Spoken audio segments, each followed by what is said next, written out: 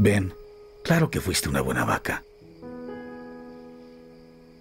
Hola, Pa. Yo quise pasar a verte para decirte que fuiste un buen padre. Yo no sé, no sé qué pensaba, pero por un momento creí que que podía ser como tú. Eh, eh, ¿Sabes? Esos coyotes, tú te les hubieras enfrentado, jamás te hubieras acobardado. Y yo te confieso que que a mí me dieron miedo. Ya sé que siempre dije que no era como tú y, y, no lo soy. Aunque quisiera hacerlo.